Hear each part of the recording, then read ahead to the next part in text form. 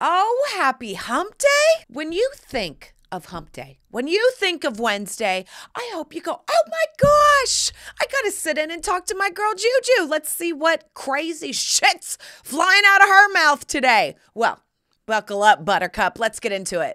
Hello, world. Come inside the Dear Juju podcast. How's it going? How's your week? Oh, mine is great. Thanks for asking. You know, our neighbors were infested with fleas, so that was another fun thing. I'm like, can we get lice next? Like, can it rain frogs? What other biblical plague is gonna hit our house? Thank God that this wasn't us and it was our neighbor. So, literally, when my next door neighbor told me, like, hey, there's a flea infestation, we think it's from the wild animals, I said, great. Called my exterminator right away. And I was like, hi, can you get over here right now? They bombed the whole house. They sprayed the perimeter. And then I asked my neighbor, like, hey, do you want me to spray your yard? She was like, no, I have a garden. I don't really want all that toxic stuff. No, this is where my California ness goes out the window. Because I'm like, what you talk about, girl? Literally, your husband is bitten up all over his tummy, all over his arms and you don't want that to, I mean, I get it. I'm doing a detox spray. Like, I love non toxic stuff as well, but hunty, when it comes to fleas, worms, bugs, creepy crawlies, da da da da, uh uh uh, I'm a little squeamish about all that. I will call the exterminator and he'll be spraying like how I made my husband spray on our honeymoon, honey, all over the vicinity. Also, in other exciting news this week, I sneezed and then I peed a little too much for my liking. Now, sometimes, you know, when you sneeze, you pee just a little bit, but this time it was a gush. And then, you know, I thought to myself, like when you go and you fill things out and you have to check your box of like under 18, 18 to 25, 25 to 35, it should basically just be two boxes. Are you peeing too much when you sneeze or you're not? And that's all I need to find out if we're going to be friends or not. Hey, how are you? Oh my God, I like you. I'm feeling you. Do you pee a little too much when you sneeze? Because then you and I got stuff in common. You probably have kids. You're probably of a certain age. And I don't know about you, but I have to wear a little pad in my panties to make sure that if for some reason the pollen gets in, I don't make a little pee pee in my pants. Oh, Lord. It's just like, you know, getting older is so funny because you have this delusion of things. Another delusion that I have, and tell me if you're with me. So, we're going to Cancun for my mom's 70th birthday. I am so excited. My whole family is going my brother, my sister, my mom, my stepdad, all my nieces, all my nephews on my side. My whole immediate family is going to Cancun. As my son says, because he's in Spanish immersion, Cancun. He is cracking me up. He is a little blonde boy that's like, Mom, I'm so excited for Mexico.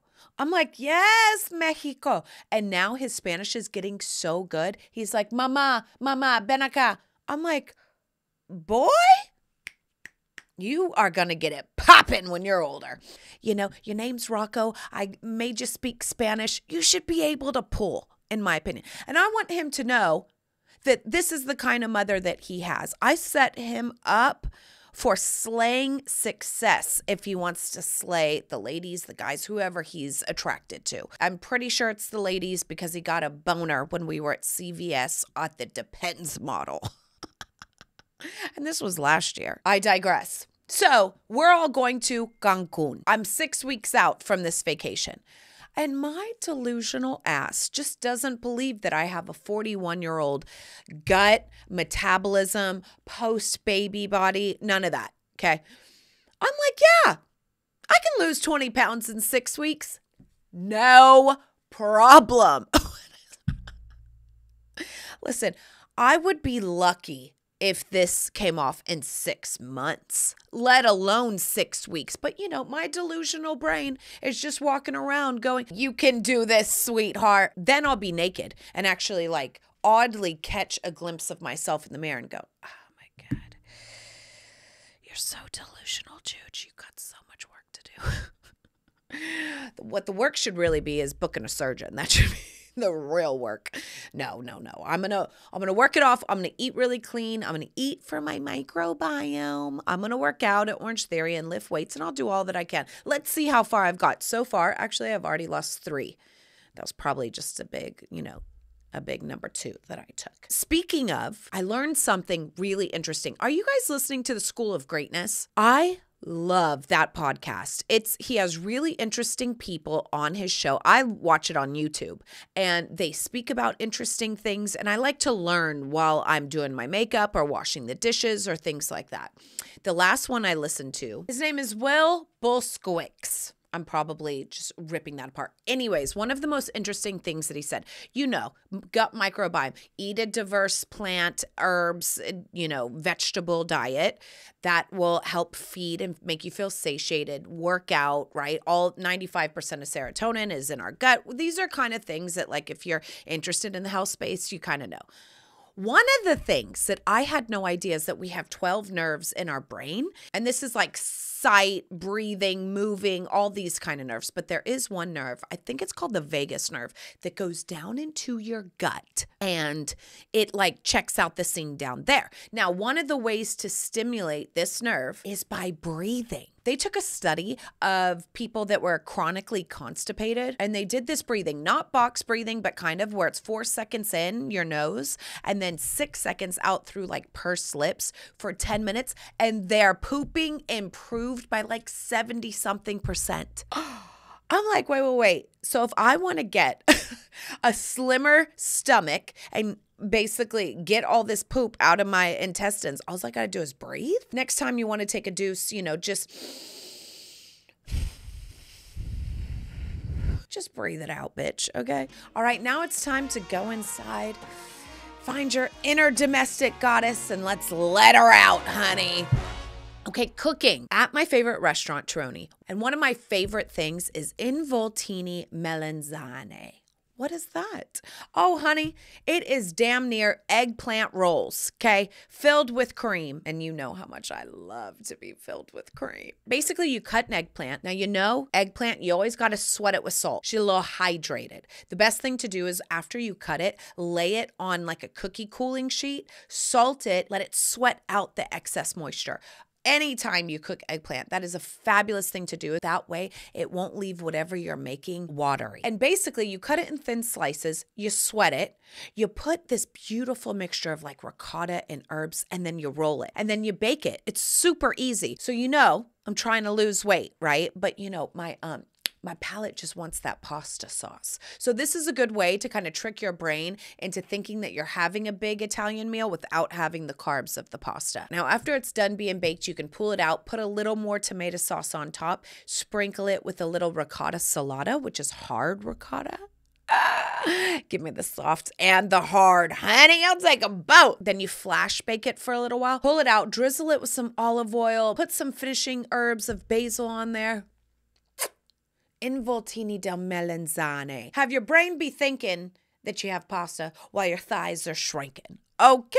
So that's what I'm making this week cocktails. Now, I am from the South, and what do we love in the South, honey? Sweet tea. Am I right? You want your tea to be as sweet as you are. Pimm's cups are the bomb. It feels to me like the Brits drink it when they're playing tennis and things like that. It tastes almost like a sweet tea to me. The best Pimm's cup that I've ever had was at Terroni, and they gave me the recipe. These recipes that I have here in my hand were made by one of the best bartenders and mixologists I have ever met. One ounce of gin, one ounce of Pimm's, half ounce simple syrup, half ounce lemon juice, right?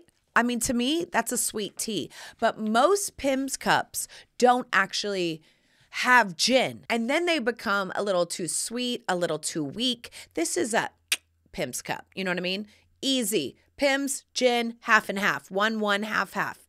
And this is what I love to drink in the summertime. If you haven't had a Pimm's cup, order you some Pimm's. I'm sure you have gin in your bar and give it a try. You're going to say, oh my God, this is crack a lackin'. Thank you, Juju. Oh, you're welcome. Last but not least, decor. Now, I don't know if you can see, this is my bar behind me that I have a credenza because I have a lot of bar things. But also next to this, on the side of camera, I also have a bar cart. This bar cart actually got secondhand from a friend. She was like, hey, do you want my Target bar cart?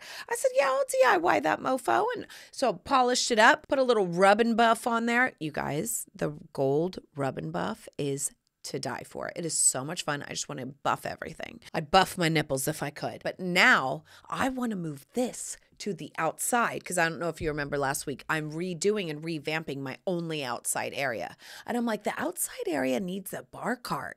I need to go out there and go, oh, what are we pouring? What are we drinking? What are we serving? And I'm looking for a new bar cart for in here. Oh, Chairish and other places, Etsy and eBay. It's called an Italian Hollywood Regency gilt tassel metal bar cart.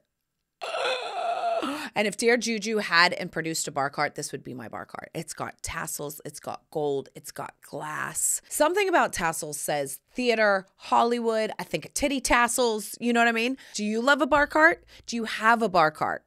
Do you need a bar cart? You know, look around, okay? Where could a bar cart go in your room? I actually like to roll the cart. That's something that feels very like cigars, cigarettes. It's such a good time. So find a little nook or cranny in your space and get you a bar cart. Okay, let's get it together. Let me know which one you're gonna get. All right, and now it's time for some Q&A with some TNA. Okay. Dear Juju, Love your content and positive energy. Oh my God, thank you so much. You're a strong source of vitamin glee. I love that. I might, I might take that, girl. What are your thoughts on imposter syndrome? I was laid off in March, and although I'm twerking the booty over countless applications, it's been difficult job market ever since COVID. At first, I had an ain't no thing kind of attitude, but now your girl's going through it, and I could use some of your sage advice. Warm wishes, Ingrid. Just keep going. Here's my sage advice. You can pause and you can take a break if mentally you're getting exhausted, but do not stop. Do not quit. Okay. Because when you quit, you know that outcome. You know what's going to happen at that door. But if you keep going, you never know that that next thing that you put out could be the one that hits, right? And I'm talking about a resume, I'm talking about a video, I'm talking about a line or a product, whatever it is. So it sounds like you're looking for a job. It's easy to get discouraged, right? When you're trying and trying and trying and nothing's happening. Sometimes when you stop trying, that's when it happens.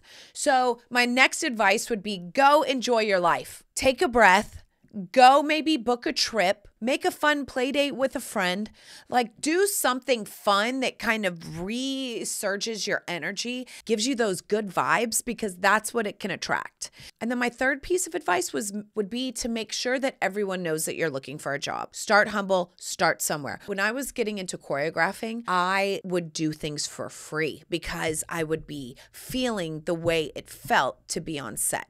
And I just wanted to be on set. I wanted to be close to it. So, whatever you're doing or try to do, make sure everybody knows that you're looking for a job. Make sure everybody knows that you're willing to work. Put it out there on social media, put it out there with your friends. It's like keep putting out while letting go. It's a weird, like, that's a funny dance motion. It's definitely a tug of war, honey, but don't let the war be in your brain. You just keep going. And the attitude, you really have a choice. You have a choice to choose getting discouraged, or you have a choice to choose the positiveness. So even if you got to fake it some days, just keep going. You're doing great. Keep popping that booty on those applications and just keep going. Oh, yeah, honey. And then every time you say it, send a little mantra. Every time you send something out or send something and say, you know what? If this is for me, let it be. And if not, send the one that's for me to me. Thank you. You know, have a good time. So, yeah, just keep twerking that booty until it pops. Dear Juju, at what stage in your life did you decide just to be you and be fabulous? Now, I peaked at eight. Okay, that's when I got my first standing ovation. That's when I got my agent for my commercial. I was winning all my dance competitions. At eight, I was popping. I had so much confidence. I just knew who I was and what I wanted to do. Seriously, truly. Then life started to dip a bit. And I went through a lot of things that humbled me and that taught me a lot. One of the things as an adult was I was in these relationships where people were subtly like putting me down. One of my biggest relationships was a friendship, and I let that friendship, I let it, it's not their fault, it's my fault. I let them kind of dim my light a little bit. They would always be saying these backhanded comments, and I would just always let it slide, and I would never say, hey, you can't say that to me. That's really offensive or whatever it may be. So I allowed it. There's no blame on their side. But I did eventually let that friendship go. And that ended up being one of the biggest blocks of my life. Because when that friendship left, I didn't realize how much I, perspective wise, was letting that kind of control me and dictate me. It was this weird thing that I had. I let it go. And then I literally felt like I just started to lift. That's why, like, who you keep around you is so important for your mental health and for your success. I had a resurgence, and all the fabulousness that I've always known that's always been there kind of started to come back because I allowed myself to act on it. I allowed myself to put myself out there in the way that I knew I was. And it was so funny because when I started Dear Juju, I was also in a different romantic relationship too. That was also toxic and left. And then I just started to rise. And in my first Dear Juju episode, I didn't even talk. Okay, I was literally I felt like a baby that um was just sat up for the first time. Then I started to crawl, then I started to talk more, then I started to dance and then finally I was naked in a clam. You know what I mean? Um it didn't take long to get there, but you really, when you decide that you want to be your most fabulous self, that decision also comes with action. And it's okay. You don't even have to speak. Doesn't have to be perfect. Doesn't have to be brilliant, but you just got to do it. And the crazy thing is, is that when my sister saw that first episode, it was the sidecar, by the way, that's on YouTube. My sister said, Oh my God, there she is. I see her. I see her like deep in there. And then more I started doing it, the more comfortable I became with letting out my most fabulous self. So I would say it was 2019 after I had my first child, because when you have a kid as well, being a mother, you realize what a superhuman you are. So, having my first kid, I felt so grounded in who I was. I felt so confident. I had let go of those toxic relationships. I had done inner work. I had pulled in the love of my life. I had had my first child, and I thought, it's time. It is time. This baby that I have also had called Dear Juju inside my brain and my belly, I'm about to birth that bitch. So, yeah, actually, when did I decide in 2019? Thank you very much. I think it was like November. How old was I? I was like 34, you know? So, but it doesn't matter if you're 34, 44, 54, 64. Once you decide, I want you to act on it. Don't forget that deciding also comes with action. It means dressing how you want, it means acting how you want, it means dating who you want, it means letting go of that friendship that you know no longer serves you. You know what I mean? So, honey, that decision comes with positives and negatives, okay? It's the yin and the yang. Dear Juju, what's the most extreme hidden talent that you have? Oh, well, this is a fun one. I'm not to lie. Okay. My most extreme hidden talent is I can get ready in the car while driving somewhere. I know. I know it's not safe. But honey, see these lashes? See these lashes? Honey, I can I can pop them on at a stoplight, okay? I can do my hair while driving. I can beat this mug while I'm honking the horn. This has been a talent of mine for a really long time. And this is because I'm usually always running late. I can listen to music, talk on the phone, do my makeup, do my hair, all in the 20 minutes it took me to get there while driving. I know. Now, I can't wait for these driveless cars to come because I'm like, yes, can you come so I can beat my, you know what I mean? That's 30 minutes of what? Of wasted time. And I'm packing it in so hard these days. Kids, business, show, uh, friendship, sex life with my husband. You guys had no idea the depths of my talent. But that's it. Oh, I got one more thing to tell you you know, I see on the internets a lot of fun spiritual things get sent my way because of the algorithms, right?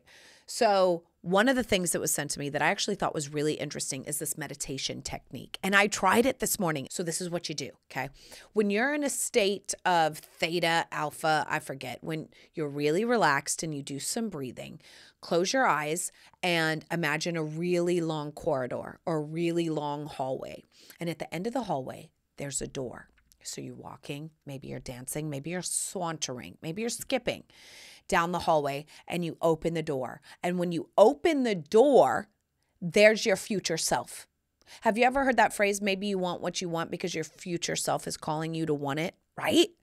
And there's your future self having, embodying, and being everything that you are wanting right now in this realm, right? We're talking quantum physics, okay? So, what you do is you open the door and you're placed into the scene of your future self. Oh, look at you. You look great. You look happy. You look amazing. You're super healthy. And that's what I did. This is what I did this morning. I opened the door and I was on set of Dear Juju. And let me tell you, the headdress that I was wearing, bitch, in my imagination nation, it was major. It was yellow, it was silver, it was beautiful. And I looked so good. My tits, you guys. they looked so good. And I literally was like, hey. And she gave me a big hug and she was like, hi. Is this hilarious? And this is what you're supposed to do. You're supposed to talk, go talk to your future self. And uh, my future self told their hair and makeup team, Can you guys give me a second? And I spoke to me of where I was right now. And I hugged her so tight and we held hands. We took each other's arms. I said, Hey, what do you want to say to me? How did you get here? What did you do? And this is my first time doing it. And the future self looked at me and just said, Just keep doing it. And I was like, That's it? And sometimes, you know, you have to try. I only had a little bit of time before I had to get the kids ready for school. Sometimes it also says, like, keep going because your brain is trying to figure out and trying to do it. And you want to get into your higher self, not your, you know, your brain doesn't know. Your brain doesn't know how it's going to get from here to there, but your higher self does. So really try to keep going and flushing it out. And then what you're supposed to do is replay it and say, okay, thank you, I will. Walk away, close the door, go back through the corridor, and then plant yourself back to where you are. It's some kind of technique from somebody or other. Maybe you guys know. So try that whenever you're like waking up and you're like, oh, I have a few minutes. Like maybe it's a Saturday morning or a Sunday morning where you can sleep in. Just when you're coming out of that rest, keep your eyes closed and try it. It's such a fun exercise. I'm going to do it again tomorrow and I'm going to try to keep doing it daily to see, flush out what my future self really has to say. I'm not sure, but I think my future self's also said to get a tit job. Those titties looked major and I had abs. And it's good to and fun to imagine yourself looking good, being healthy, being successful and merging the two worlds, okay? So try that little meditation nation technique. Try a Pimm's cup. What about a bar cart? Look around, can you squeeze one in somewhere? You know, and let me know if you also pee your pants a little too much for your liking when you sneeze. Don't forget, you're a star. You know this. I love you. And when you think of hump day, honey, think of dear Juju. And I'm out. Mwah.